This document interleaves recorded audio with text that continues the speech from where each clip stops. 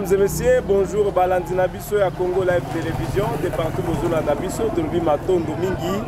merci mingi mpe bienvenue à suivre ce nouveau numéro de ce 2 janvier 2024 sur congo live tv bandeko na biso na kati ya ville ya goma tozoyamba bango bonjour ndeko Bonjour journaliste. Ndeko boni. Toza na biso bien. Toza bien. Calme penza. Ya lelo. Lelo vraiment toza na biso bien awa na ville na biso ya Goma. okorapele bakombo na yo babengaka yo nani babengaka nga kombo na nga mokengerwa barabara héritier naza mwana goma congolais de père et de mère nabosanaka koloba mpo naza na nga fiere ya kozala congolais de père et de mère nga naza neti barwandais te bao bazalaka fiere te na nationalité na bango biso bacongolais nga congolais mokengerwa barabara héritier mwana goma congolais de père et de mère congolais disa Uh, ndeko héritier yebisa biso basango oyo eza na baligne de front yo ndenge okendaka kuna mingi mingi na sake uh, na musake yebisa biso situation eza ndenge nini makambo ava lobi mpe lobi situation eza ndenge nini kobanda lobi lobi nazalaki kuna tomonaki bavio ekende kobombarde ko, ko bisika ba m23 bazalaki kotia manuki na bango na position na biso na position ya, ba, ya mapinga na biso fardc mapinga makasi na baposition ya bazalendo esika bazali makasi ezali na ngambo na biso monguna aosuwa makasi monguna aolela makasi mpo toboma bango neti banyama bavio wana alobi esali makambo ya minene makambo ya kokamwa na kote ya monguna bakufi nati banyama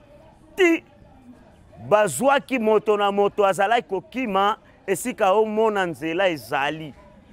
tozalaki koyoka bamisusu mpe babungaki bakomaki ti na kote ya ngungu kuna bato oyo bapesaki biso sango balobi ke monguna ntango aomona avio ntango aomona na ndenge fardc ezobunda na ndenge muzalendo aobunda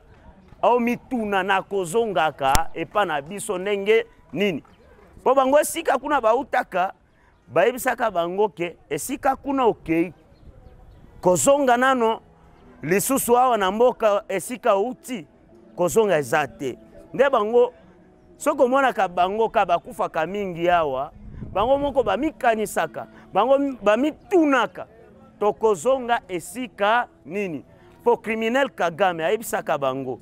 nani criminel kagame ah. paul kagame criminel paul kagame ntango azwaka bana wana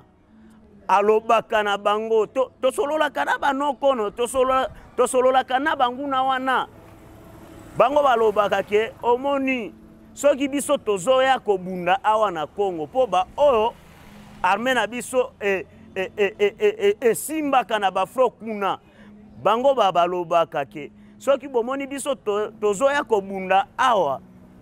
tolingi ata yango te me bazozwa biso na kimakasi baotindika biso na kongo oyo toya kobunda me biso tobangaka bino makasi bino fardc Po biso toyebi maping toyebi makasi na bino oyebi nani alobaka wana alobaka ma, ma, maloba wana m23 ntango tozwaka bango na baline de fro kuna ntango fardc e, e, ezwaka bango kuna na baline de fro bazwi ba bango mateka bango bapesaka sango wana balobi ke biso koya kobunda awa na congo tolingaka yango te mais toza na dictature ya criminel paul kagame oyo atindaka biso awa toyaka kokufa pamba mpo bato wana bango moko bayebi ke bakolonga bitumba te bayebi, bayebi te bayebi, bayebi mpe lisusu ke esika tokei esika tozali eza kaka kokufa mpo basi bayebisi bango kozonga na rwanda eza te esika bakei nde epa na bango nde nayebisi yo ndeko na ngai journaliste lobi bakufaki lisusu eza lobi te nde nka bakufaka mikolo nyonso bakobaka na kokufa mpo guvernema eza na sesele efe lisusu te donk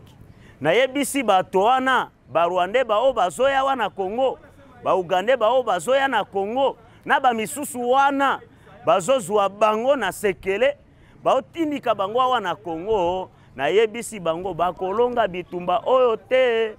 congo ya lelo eza na mapinga makasi congo ya lelo eza na bazalendo bapatriote neti biso toza sima ya fardc ah, ti suka ya bitumba oyo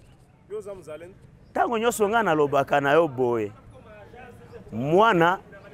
azalaka neti papa na ye azali son excellence félix antoine tshisekedi tshilombo le respectueux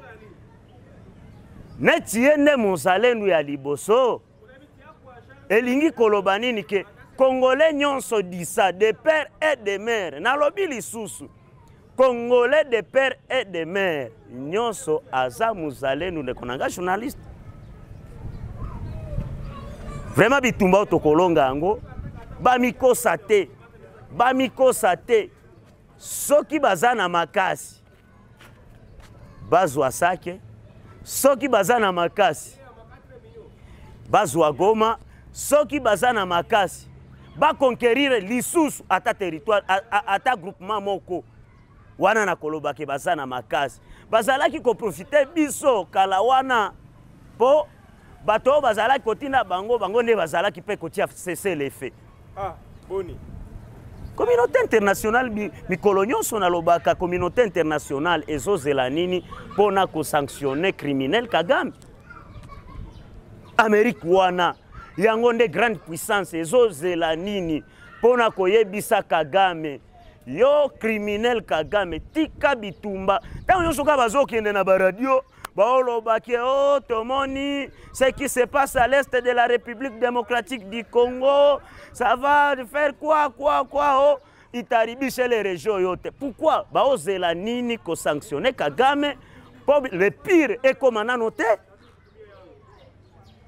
omituna yo moko ndeko na nga david journaliste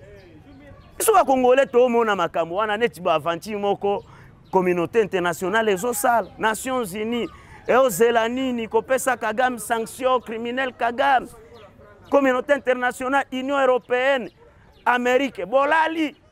si boyebisa biso makambo ya solo bolobaka biso nde totinda kagame akende kosala mobulu na congo yango nde biso tolingi eloko oyo mpo bozokende ka epai ya kagame bosalaka makambo wana na sambla bokanisi ke biso toza na, na, na, na mayele te ya, ya, ya, ya koyeba makambo oyo bozosala na sekele tomona hipokrisi na bino bandeko tomona bahypocrisie na bino biso bakongole tosalaki bino nini soki bomoni richesse eza ebele kati na congo oyo si bino nde boliaka yango kutu nga naza e na de vétérinaire me mosala oyo nazosala nazosala kimotare j'applique un son métier il n'y a pas de son métier soki bino boomona richesse eza na congo son excellence faci beto ayebisaki bino bokende te epai ya kagame mpo na koluka makambo oyo eza na congo richesse oyo eza na congo les richesses du sous-sol boya kaka bokota na porte tosolola biso na bino bokopesa nini nga mpe napesa bino nini me bino ka bookende koleka bookende koleka epai ya kagame bookende koleka epai ya museveni mpo boya wana congo boboma bo, bo, biso eh? ndeko ntango updf ekoti na ruchuru lobi tomonaki mpe updf kuna na, na, na, na, na mushaki ntango omoni updf wa, wana ka mbala moko omoni museven quand même wana omoni museven toloba makambo ya toloba makambo na, na, na, na makambo ya solo toloba yango na solo tobanga bato te tobanga bato te ba m23 bazoboma bango d'après les informations ezoya me bazondima kotika te pourkui bazondima kotika te bazotinda barenfort na barenfort badetermine kozwa ville ya goma ndeko na nga eloko moko nakoki koyebisa yo boye na bakisi mpe naokanisa baolanda biso jamais jamais tel que nous avions confiance na maloba oyo prezida ya mboka mokonzi ya mboka alobaki na bango babosana babimisa na mitu na bango kokanisa ke mokolo moko bakonyataka goma ndeko na ngai journaliste nayebisi yo boye biso nyonso bacongolais de père et de mare tokondima mwana ata ya suka akufa me bato kagame aotinda mpo na kobuma biso awa na mboka na biso tokondima te bakota awa na goma tokondima te bakota sake bato wana bazokufa me baotika bitumba te nauti koyebisa yo boye ntango bato wana babimaka rwanda ntango bato wana babimaka uganda bakriminele na bango mibale wana kagame na museveni paul kagame museveni vous êtes des criminels makila oyo nyonso esopamaka awa na congo makila nyonso oyo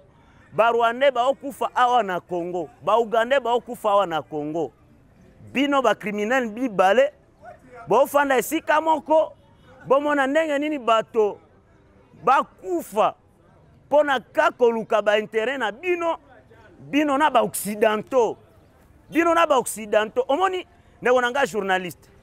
lelo baorganisation nyonso ebandi kopalangana okanisi mpo na nini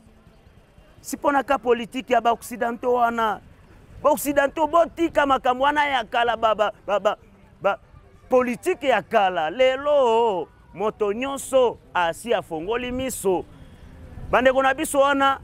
baokufa pamba awa barwande na baugande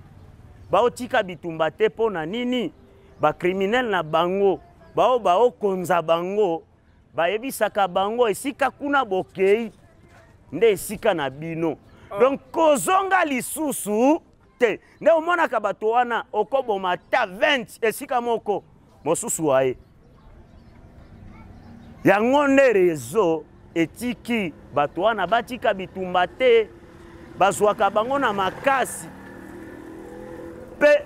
esika batindi bango batindi bango na makasi na esika bakomi basali na makasi ya bakonzi baoyo bazokonza bango so kagame aza mobali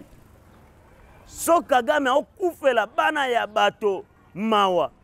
siye mpe azwa ata mwana na ye toyokake mwana ya kagame aza mushaki azwa ata mwana na ye moko atinda ye awa na congo toyoka ke mwana le premier fils de kagame est à mushaki en train de se combattre contre aussi le, les frdc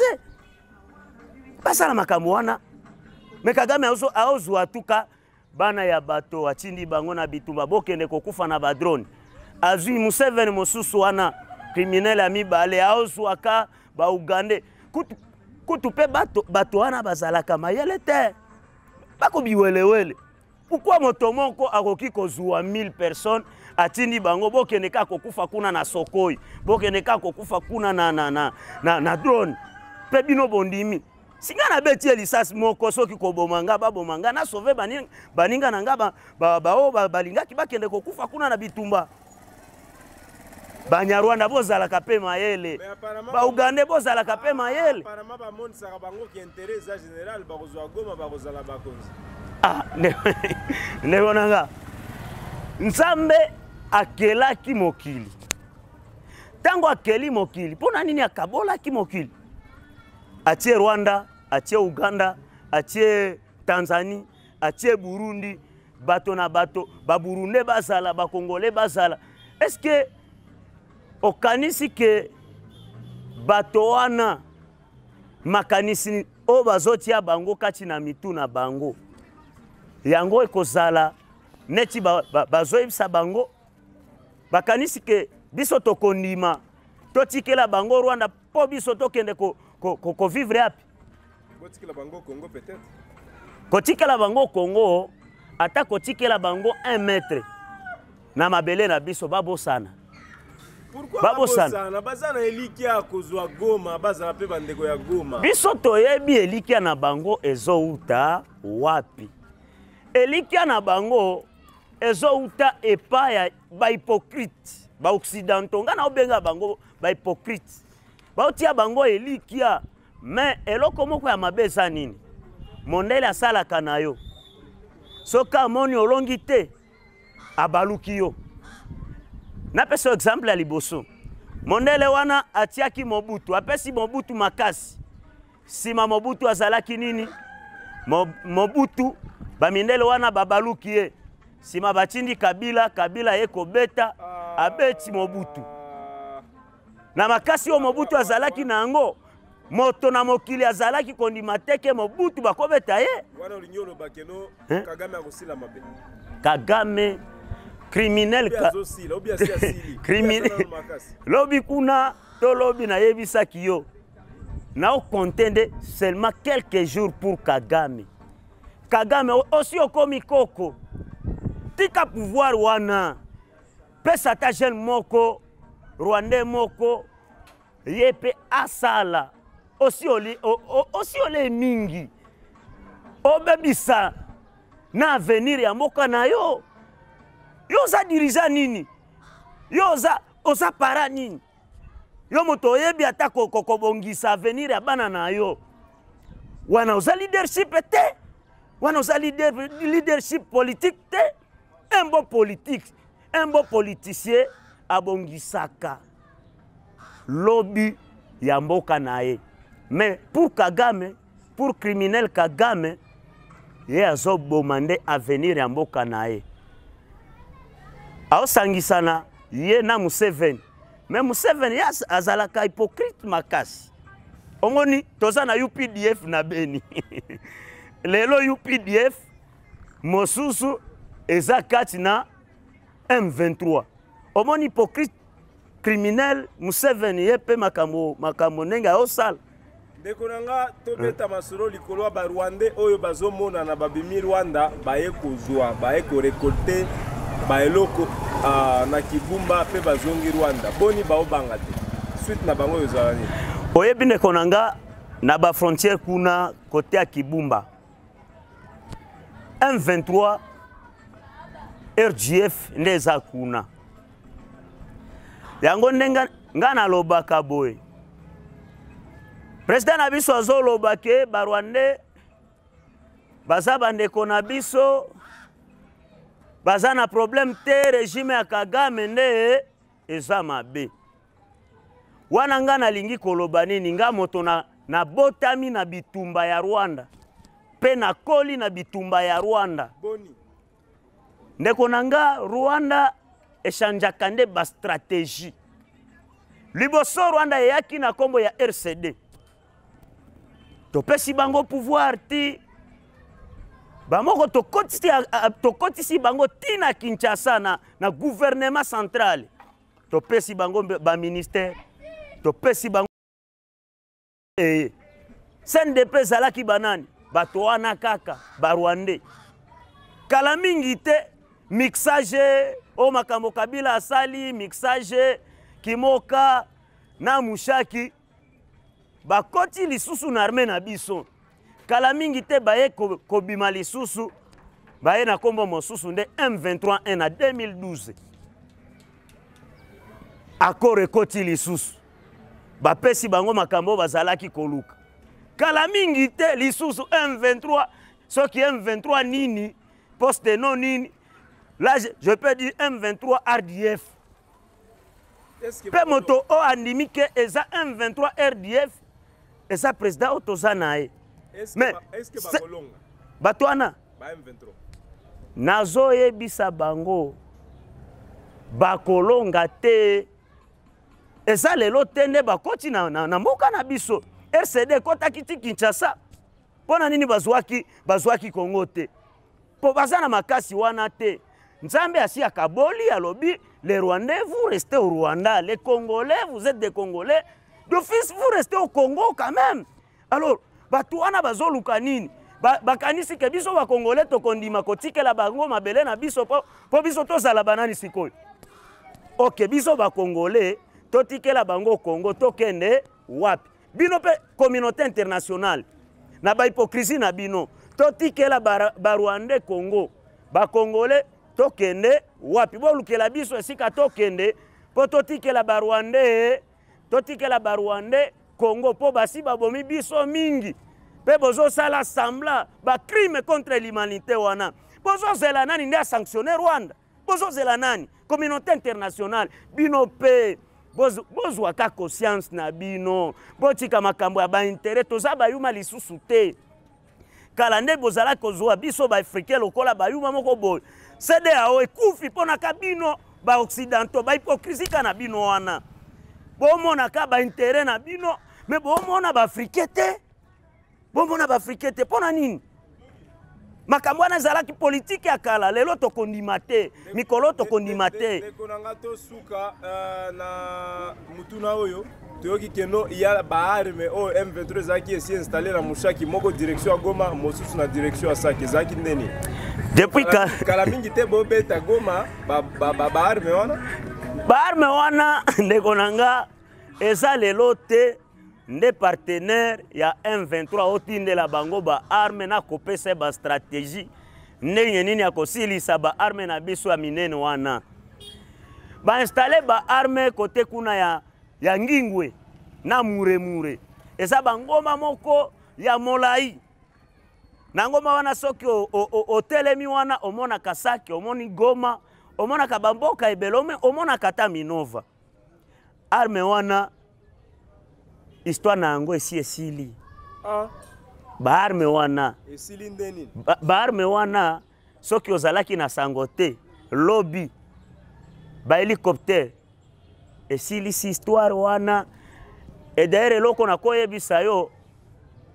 depuis baarme wana esili histoire na bango esili osi oyoki ke bombe moko ekwei na saki bor wana ezalaki makasi mpenza nandimi yango mais makasi ya baavion na biso makasi ya badrone na biso esilisi baarme wana soki france bino nde botindelaki bato wana baarme wana bozolela na ero oyo histoire ya baarme wana esi esili soki bozalaki na sango te boyoka sango wana kolekela nga na televizio oyo message oyo okabeli bandeko na biso ya frdc bazolanda biso na congo live television message nini okabeli bango bato oyo bazobunda na kati ya bitumba na ngonga oyo bazolanda biso bandeko na biso frdc le 8e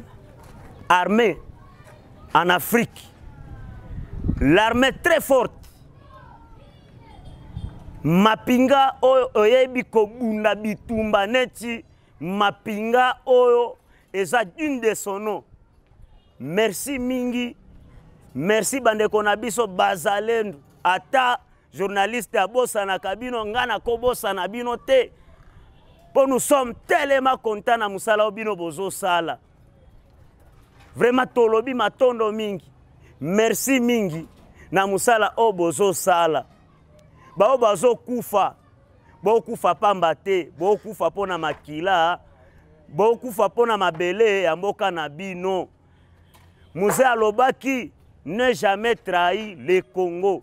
fardc ne trahi jamais votre pays bobunda ntina suka malonga eza na ngambo na biso biso mpe population toza nsima na bino tokotika bino te o soki mai bokozala na yango mposa boyebisa biso population toza na arme mosusu te eza ka bino na bino nde elikya na biso totie yango epa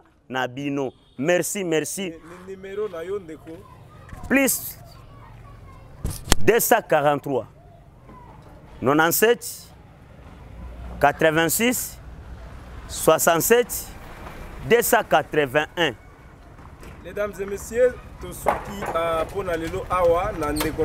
héritier je rappelle bien c'est congo live télévision et c'est la fin de cette émission merci de nous avoir suivis merci ndeko héritier et puis à la prochaine pour un autre nouveau numéro merci pareillement